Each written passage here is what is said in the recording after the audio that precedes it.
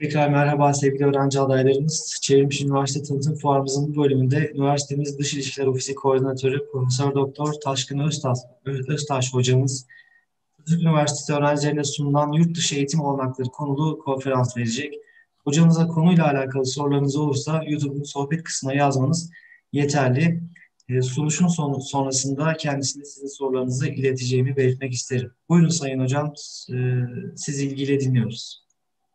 Teşekkür ediyorum. Tabii öncelikle e, bu büyük ailenin üyesi olmak için bizi tercih edecek olan öğrencilerimize ve bizi dinlemekte olan e, öğrenci adaylarımıza e, öncelikle e, selamlarımı iletiyorum. E, ben Dış İlişkileri Ofisi'nin e, ve üniversitemizin aslında uluslararasılaşma bağlamında yapmış olduğu bir takım faaliyetleri ve üniversite öğrencilerimize e, ne gibi yurt dışı imkanları sunduklarımızla ilgili olarak e, bazı paylaşımlar yapacağım. Daha sonra da öğrenci e, adaylarımızın e, eğer soruları olursa onları da memnuniyetle cevaplayacağım. E, müsaade ederseniz önce e, bir ekran paylaşımı yapayım. Buyurun, estağfurullah. Evet. E, şimdi tabii ki öncelikle şunu ifade etmek isterim e, üniversitemizle ilgili olarak. E, Atatürk Üniversitesi e, elbette e, yeni e, nesil bir üniversite ve Türkiye'de öncü bir üniversite. Ve bu konsepte de uluslararasılaşmayı kendisine bir vizyon edinen üniversitedir. Ve bu bağlamda hem yerel, bölgesel ve uluslararası düzeyde eğitim, araştırma ve toplumsal katkı odağında çok kültürlü bir uluslararası çekim merkezi olmayı hedefliyoruz. Ve aynı zamanda da uluslararasılaşma aracılığıyla da dünya ölçeğinde tanınan saygın bir üniversite olmayı hedefliyoruz.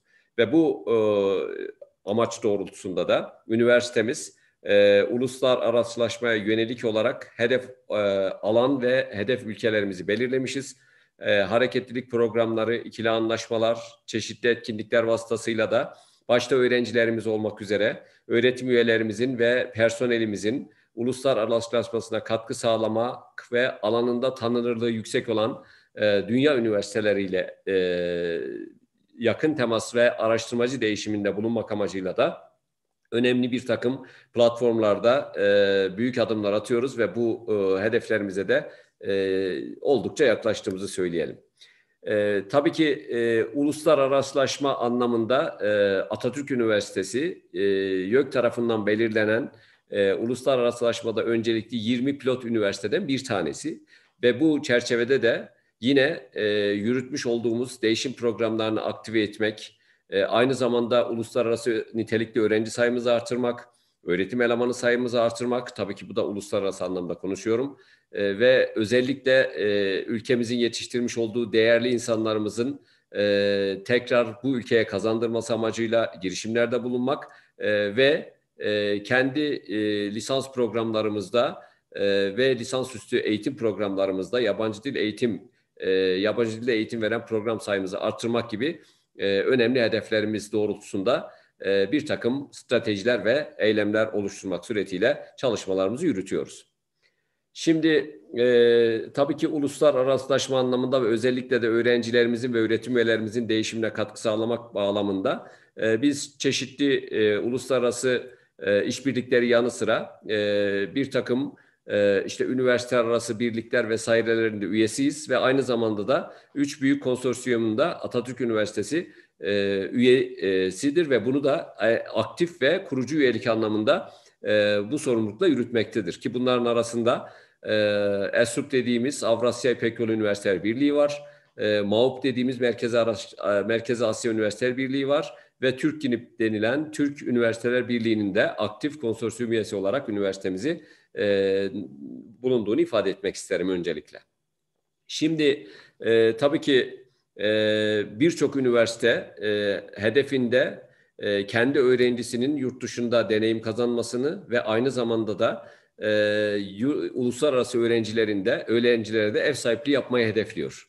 Ve bu bağlamda çeşitli girişimleri olabiliyor elbette ve bizim de e, bu bağlamda e, Türkiye'de e, ilk 10 10 yüzde 15'lik dilimde diyeyim e, yer aldığımızı e, çok rahatlıkla ifade, ifade edebiliriz. Gerek öğrenci sayısı anlamında gerekse yürütmüş olduğumuz programlar bağlamında e, çok önemli bir konumdayız. ve Atatürk Üniversitesi hali hazırda 57 ülkede 309 üniversite ve enstitü ile ikili anlaşmaya sahip olan bir üniversitedir. Ki bu Asya kıtasında 23 ülkede 128 e, birimle, Avrupa kıtasında 27 ülkede 153 birimle ve Amerika kıtasında ise 3 ülkede 10 e, birimle devam ediyor. Son dönemlerde Afrika e, kıtasındaki ülkelerle de e, bu işbirliklerimizi geliştirmeyi biz e, kendi hedefimize aldık ve bu bağlamda da 4 ülkede 18 işbirliğiyle çalışmalarımıza devam ediyoruz. Bizim hedefimiz e, tek bir bölgeden, coğrafyadan değil, dünyanın birçok e, yöresinden, bölgesinden e, üniversitelere ev sahipliği yapmak ve aynı zamanda da yerinde uluslararasılaşmayla da e, kendi değerlerimizi e, merkezi bir e, e, platformdan dünyaya e, deklare etmektir. Dolayısıyla da bizim ana ilkemiz doğrultusunda bu çalışmaları yürütüyoruz. Şimdi e, uluslararası öğrenci profili anlamında bu çok önemli çünkü e, bu aynı zamanda sizin ne kadar öğrenciyi dışarıya gönderebileceğiniz veyahut da e, değişim programlarındaki alabileceğiniz hibeler veyahut da yürüteceğiniz programlar için önemli bir göstergedir. Ne kadar uluslararası öğrenciye ev sahipliği yaptığınız ve bu e, çerçevede de e, yine e, listenin üst kısımlarında yer alan bir üniversiteyiz. Yaklaşık 3300 tane uluslararası öğrencimiz var e, ve bunların e, 1600 tanesi yaklaşık e, örgün öğretimde e, öğrenim görüyor ve Atatürk Üniversitesi biliyorsunuz e, çok büyük bir üniversite. E, yaklaşık e, 80 bine yakın örgün öğretimde öğrencisi olan e, ve 400 binin üzerinde de açık öğretim programıyla e, büyük bir aileyiz. E, ve aynı şey, e, rakamlar elbette ki uluslararası öğrencilerimize de yansıyor ve hali hazırda e, 84 ülkeden e, 3300 tane öğrenciye e, ev sahipliği yapıyoruz. E, bunu da gururla ifade ediyoruz her platformda. Şimdi e, gelelim e, asıl öğrencilerimizin beklediği sorunun cevabına. E, Atatürk Üniversitesi'ndeki değişim fırsatları nelerdir? Ve biz birçok program yürütüyoruz. E, önce isim olarak bunlardan bir kısaca bahsedeyim. Daha sonra da e, bazı programlarla özellikle öğrencinin yoğun olarak ilgi göstermişte olduğu programlarla e, kısaca bir e, tanıtım yapacağım. Şimdi tabii ki e, biz öncelikle e, ikili anlaşmalar yapıyoruz. E, ve bu ikili anlaşmalar çerçevesinde özel koşullarda öğretim üyesi ve öğrencilerimizi gönderebiliyoruz. Ve bunun kaynağını karşılıklı protokoller vasıtasıyla hem gönderdiğimiz üniversite hem de bize gelecek olan öğrenciler için e, şartlarını biz belirliyoruz ve bunlardan kısaca bahsedeceğim. E, ve bu bağlamda da e, birçok üniversiteyle ikili işbirliğimiz olduğunu ve yaklaşık 300'ün üstünde ki bunların en az üçte birinde özel protokola sahip olan bir üniversiteyiz ve bu, bu çerçevede de öğrencilerimizi belli periyotlarla özel bir konuda veyahut da bir dönem boyunca eğitim müfredatıyla bağlantılı olarak yurt dışı tecrübesi için tabii ki değişim programına dahil edebiliyoruz. Ee, bununla birlikte e, ofisimizde e, ve üniversitemizde e, yürütmekte olduğumuz bir Erasmus programı var. Bu birçok üniversitede elbette yürütülüyor ve bu bağlamda biz aynı zamanda program ülkesiyiz. Yani Türkiye hem öğrenci kabul ederek hem de öğrenci göndererek ki bu öğrenci göndermeyi sadece Avrupa ülkeleriyle değil aynı zamanda Avrupa dışı ülkelerle de e, yürüten bir ülke ve bu bağlamda hem e, Avrupa Erasmus'umuz hem de e, Amerika ile, Rusya ile, Ürdün'le vesaire e, birçok Avrupa dışı ülkeyle de e, 107 programlarımızı yürütebiliyoruz. Ve yine Mevlana programımız var. Biraz sonra bahsedeceğim. E, YÖK'ün e, programıdır ve dolayısıyla da bu program dahilinde de öğrencilerimizi yurt dışına gönderebiliyoruz. Avrupa'da yarışma programı var. Bu da e, Erasmus altında e, gönüllülük esasına dayalı olarak öğrencilerimizi e, tamamen e, eğitimden farklı bir alanda tecrübe kazanmak amacıyla göndermiş olduğumuz bir programdır. Bundan da kısaca bahsedeceğim. E, ve kendimize özel olan e, ve e, sayılı üniversitede e, yürütülen kış ve yaz okullarımız var. Ve bu e, kış ve yaz okullarımızda biz daha çok e, uluslararası öğrenci kabul ediyoruz. Ama bizim kabul etmiş olduğumuz üniversitelerin de yürüttüğü yaz ve kış okullarına da kendi öğrencilerimizi aynı çerçevede, aynı koşullarda gönderebiliyoruz. O nedenle bunlar da tabii ki önemli aktivitelerdir. E, PAX programımız var. Bu da çok özel bir program. Sadece Tayvan'la karşılıklı olarak Atatürk Üniversitesi'nin e, yürütmüş olduğu bir programdır. Bize özel kontenjan veriyorlar ve biz de e, her dönem hemen hemen e, en az iki veya üç tane öğrencimizi bu program dahilinde gönderebiliyoruz. E, uluslararası öğrencilere ev sahipliği yapıyoruz. Biraz önce rakamdan bahsettim. 3300 civarında e, yaba, e, uluslararası öğrencimiz var.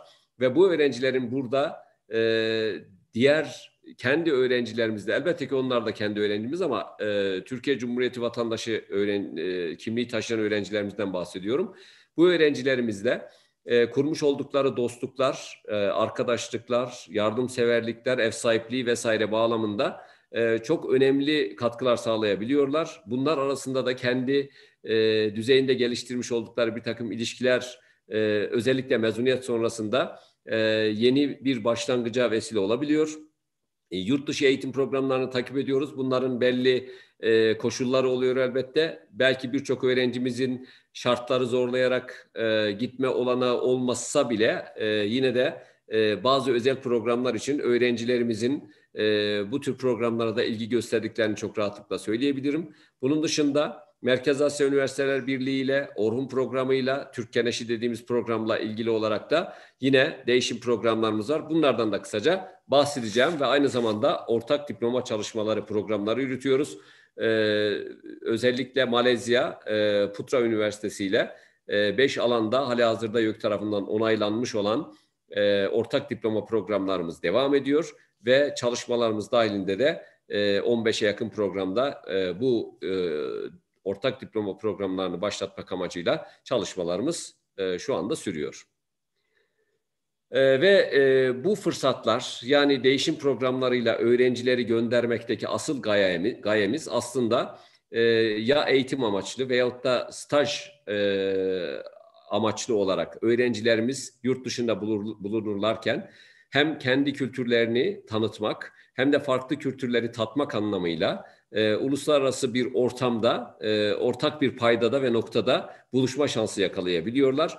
Öğrencilerin e, kendi özgüvenleri anlamında e, veya e, mezuniyet sonrasındaki e, iş taleplerinde e, bir Erasmus yapmak veyahut da bir değişim programında e, yer almış olmak çok büyük bir avantaj olarak e, onların e, destekleyicisi e, olabiliyorlar. O nedenle de e, öğrencilerimizi şiddetle tabii ki bu tür programlara e, katılmaya e, teşvik ediyoruz ve bu o, anlamda da e, önemli fırsatlar sunduğumuzu e, ve e, öğrenci talebine de yetişmeye çalışmak için farklı kaynakları kullanarak e, mümkün olduğu ölçüde çok fazla öğrenciyi göndermeyi e, planladığımızı ifade edeyim. Şimdi e, hangi değişim programına göndereceksek gönderelim. Öğrencinin elbette ki bazı yeterlilikleri gerekiyor. Ee, bunlardan birincisi e, özellikle Erasmus programı için mutlaka örgün öğretim öğrencisi olmak gerekiyor. Yani e, örgün öğretimden kastettiğimiz yüz yüze eğitim yapılan, aktif eğitimde e, üniversite ortamında bulunan ki buna artık kapanıyor ama gece eğitimleri de dahil olmak üzere sadece açık öğretim programları hariç bu programlarda yer alan öğrencilerimizi gönderiyoruz. Agno şartı vardır. minimum işte 2.2 olması gerekiyor Erasmus için. Mevlana programı için 2.5 olması gerekiyor vesaire. Ama Agno'nun ne kadar yüksek olursa ki Agno'dan kastettiğimiz öğrencimizin başarı not ortalaması. Yani tartılı, ağırlıklı başarı not ortalaması. Taban 2.2'dir ama elbette ki işte 3.5'la müracaat eden bir öğrencinin önüne geçme şansınız yoktur. Yani bu ne kadar yüksek olursa e, o kadar iyi. Öğrencimizin o nedenle de disiplinli ve e, belli bir program dahilinde çalışmasını öneriyoruz. Dil becerisi mutlaka gerekiyor. Çünkü eğer eğitim almak amacıyla gidiyorsanız mutlaka B1 düzeyinde İngilizce bilmeniz gerekiyor. E, eğer staj olanağını kullanmak istiyorsanız da A2 düzeyinde İngilizce yeterlik seviyesinde olmanız gerekiyor. Bizim e, farkımız şu, bizim kendi e, dil merkezimiz var. Ata ile de e, uluslararası sınavlarımızı yapan bir organizasyonumuz var, e, koordinatörlüğümüz var ve bu koordinatörlük e, bizim değişim programlarından Erasmus adı altında yararlanmak isteyen tüm öğrencilerimiz için e, burada sınav yaptırıyoruz e, ve öğrenciden de herhangi bir ücret talep etmeden tamamen kendi imkanlarımızı kullanarak e, bu yeterlilik belgelerini veyahut da en azından düzeylerini e, sınav e, süreciyle tamamlıyoruz.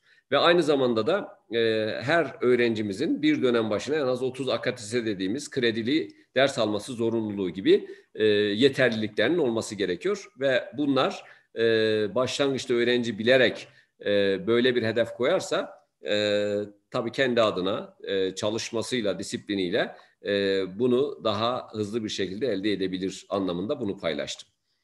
Ve Erasmus çok fazla talep alan e, ve e, Avrupa Birliği'nin desteklemiş olduğu bir hibe programı. Burada hem 103 hem de 107 programımız var. 103 dediğimiz Avrupa ülkeleriyle olan değişimimizi, 107 ise e, Avrupa dışı ülkelerle olan değişimimizi e, gösteriyor. E, ve e, öğrencilerimizi daha çok ikili protokollerimizin olduğu ülkelere gönderiyoruz. Şu anda hali hazırda gönderdiğimiz ülkeler arasında Letonya, Almanya, Portekiz, Macaristan, Finlandiya, İspanya, Litvanya, Slovenya, Polonya, İtalya vesaire birçok ülke var. Dolayısıyla da yenilerinde elbette ki ilave etmek mümkün. Biz her yıl e, bunları güncelliyoruz. E, biten anlaşmalarımızı e, yeniliyoruz ama yenileri ilave etmek suretiyle de e, farklı programlar için e, bu tür anlaşmalarımızla e, kendi e, kapasitemizi genişletmeye çalışıyoruz. 107 programında ise e, dünyanın birçok ülkesiyle e, değişim programımız var. E, işte özellikle son dönemlerde açılım sağlamış olduğumuz Balkanlarda e, Kosova, Bosna Hersek, Arnavutluk başta olmak üzere birçok ülke e, opsiyonumuz var. Orta Doğu ülkelerinden özellikle e, Rusya başta olmak üzere Azerbaycan, Gürcistan, Ukrayna, e, Akdeniz ülkelerinden e, işte Cezayir, Mısır, e, Lübnan, Ürdün, Filistin vesaire. E, ve yine e, Orta Asya e, Cumhuriyetlerinden Kazakistan, Kırgızistan e, gibi ülkeler, e, Latin Amerika ülkelerinden e, Costa Rica ile e, ve e, Brezilya ile e, anlaşmalarımız var. Ve yine e, Amerika Birleşik Devletleri, Tayvan başta olmak üzere e, sanayileşmiş ülkelerle ki bu e, 9 farklı gruptaki ülkelerin tamamında öğrenci paylaşımı yapabileceğimiz e, protokollerimiz mevcut. E, ve bir diğer programımız yine Erasmus Değişim Programı altında e, Avrupa Dayanışma Programı. Bu program herhangi bir staj veya öğrenim amaçlı e, değil, e, sadece e, genç e, öğrencilerimizin e, kişisel, eğitimsel, sosyal, sivil ve mesleki girişimlerini teşvik etmek amacıyla ve aynı zamanda da toplum yararı öngören projelerde gönüllü olarak çalışmalarını e, ve bir ağ oluşturma faaliyetlerini desteklemeleri gibi bu tür girişimleri hedefleyen bir Avrupa Birliği projesi, girişimi ve burada öğrencilerimiz özellikle işte 18-30 yaş arasında olması isteniyor ve herhangi bir mezuniyet veya dil yeterliliğine genellikle bakılmıyor. Sadece e, en az bir aylık bir programla bir yıla kadar Avrupa'da herhangi bir e, gönüllü faaliyetinde yer alarak hem kendi e, dil becerilerini geliştirmek hem de e, sosyal açıdan kendisini e, yetiştirmek anlamında başvurabileceği bir programdır. Biz kendimiz de yürütüyoruz ama Türkiye'de diğer üniversitelerde veyahut da sivil toplum örgütlerinde yürüyen e, Avrupa Dayanışma Programı'na da öğrencilerimiz başvurarak oralardan da yararlanma olanağına sahipler. Bir diğeri Orhun programı. Bu özel bir program. Azerbaycan, Kazakistan, Kırgızistan ve Macaristan'da e, Türk Keneşi olarak adlandırılan Türk Üniversiteler Birliği üye e, üniversiteler arasındaki değişim programıdır ve öğrencilerimizi e, bu programlara hem gönderiyoruz hem de diğer üniversitelerden kabul ediyoruz ve bu, bu üniversiteler içerisinde de en aktif üniversitenin Atatürk Üniversitesi olduğunu da büyük bir gururla ifade etmek isterim. Aynı şey MAUP için de geçerlidir. Merkez Asya Üniversiteler Birliği'nin de e, biz en aktif üyesiyiz ve bunu da Afganistan, Azerbaycan, Çin, Gürcistan, İran, Kazakistan, Kırgızistan, e, Güney Kore, Moğolistan, Pakistan, Rusya, Tacikistan ve Ukrayna ile devam ediyoruz. E, dolayısıyla da pandemi öncesinde e, çok e, hareketli ve aktif olarak e, bu değişim programlarını e, koordine ettik. İnşallah pandemi sürecinden sonra da kaldığımız noktadan devam edeceğiz. Tabii ki bunlar uluslararası programlardı ama aynı zamanda öğrencilerimizin yurt içinde de başka üniversitelerde yani başka yüksek öğretim kurumlarında bir dönem veya iki dönem e, devam edebilecekleri değişim programları var. Bunun da adı Farabi programı biliyorsunuz ve bu Farabi programında da Üniversitemizin ön lisans, lisans ve yüksek lisans doktora düzeyindeki öğretim e, öğrencilerimiz e, Türkiye'nin herhangi bir yüksek öğretim kurumunda e, bu değişim programını bir ya da iki yarı yıl için kullanabilirler. E, yüzün üzerinde üniversiteyle bu değişim anlaşmamız var. Dolayısıyla da öğrencilerimizin yoğun ilgi gösterdikleri bir program aynı zamanda. Ve e, Mevlana'dan da bahsedeyim. Mevlana'yı e, kısaca bahsedeyim sadece. Bir de Mevlana programımız var ve bu Mevlana programında da yine e, YÖK'ün programı e, ve bu değişim programında da öğrencilerimiz e, en az bir en fazla iki yarı yıl e, yurt dışı deneyimi yaşayabiliyorlar. E, yine üniversitemizin ön lisans ve lisans programında e, hazırlık ve birinci sınıfta okuyan öğrenciler hariç e, diğer öğrencilerin e, yararlanmış olduğu bir program. E, tüm öğrencilerimiz e, bu programlardan elbette ki hibelendiriliyor. E, öğrencimize hibenin yüzde seksenini e, giderken veriyoruz Tamamladıktan sonra da değişim programının yüzde yirmisini ödüyoruz. Sadece Erasmus'la ilgili olarak rakam vereyim. Ee, ülkesine göre değişiyor ama e, 103 programında e, 300'den 600, 300 ile 600 euro arasında aylık. E, 107 programında ise yani Avrupa dışı ülkelerde yapacağı hareketlilikler için ise e, 700 ila 800 euro aylık ödeme yapıyoruz ve aynı zamanda da e, transfer ücretlerini sağlıyoruz. E, Mevlana programında da e, öğrencilerimize e, YÖK'ün belirlemiş olduğu elbette ki e, günlüklerini daha doğrusu aylık üzerinden ödeme yapıyoruz. E, Orhun ve e, MAV programında ise gönderdiğimiz öğrencinin biz biletlerini alıyoruz.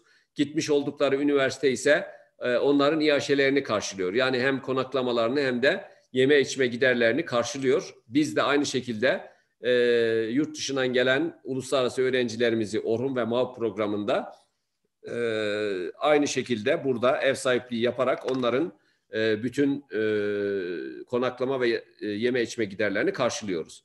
Tabii yeni girişimlerimiz de var. İşte en son e, bundan yaklaşık bir ay önce e, özel bir üniversiteyle e, Türkiye Manas Üniversitesi ile biliyorsunuz Kazak e, Kırgızistan.